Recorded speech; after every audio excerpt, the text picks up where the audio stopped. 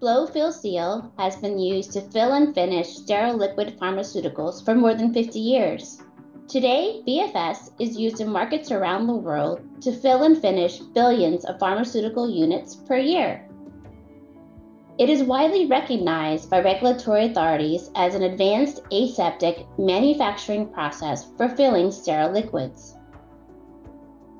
While best known for filling and finishing ophthalmics and nebulizer medicines, BFS is also used in primary packaging of sterile liquids and small molecules suspension formulations, biologics, and oral vaccines. BFS has been used to successfully fill nasal formulations and parenteral vaccines, although the latter is not currently in market. Due to its combination of high output capability and efficiency, the BFS process often delivers lower per unit manufacturing costs than most other major large manufacturing presentations. However, one of the advantages of BFS is that the same line that does large volumes can also be used in smaller batch size requirements.